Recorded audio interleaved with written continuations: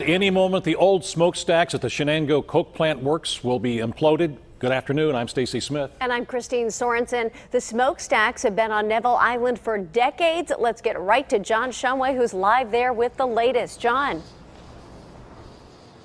Yeah, and I believe we're about 30 seconds away from the implosion, so let me get out of the way so you can see what's going on. We'll also be showing you views here from News Chopper 2 as well.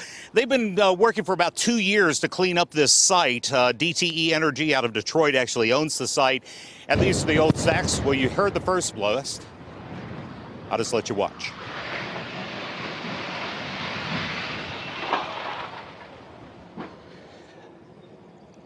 And that was it. In fact, both towers and the center building all came down simultaneously.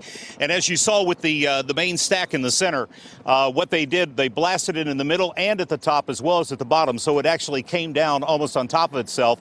There was a building in between the two smokestacks that actually uh, they blew up and it went down, falling towards the river. And then, as you saw, the other smokestack as well. Now, the smoke that we're looking at, the dust we're looking at, this has been a point of concern for residents in the area who were concerned where this might go. But as you can see, we don't have a whole lot of wind here today. So it is pretty much staying in place, drifting just slightly towards the west as it starts to rise and dissipate. We are told by the Allegheny County Health Department that the stacks were checked and were scrubbed. There was no asbestos in any of these buildings. That was a big concern the people who live just across the river uh, in the uh, Ben Avon area and also also Emsworth, but uh, there was no asbestos in any of these buildings. And the rest of it was coal dust and obviously the dust that you get when you implode uh, a brick structure like this. Uh, and now, as the smoke starts to clear and drifts further off to the west, we can see the rubble that remains from the uh, furthest east. Uh, tower, and it literally came down in just a a crunch of uh, brick.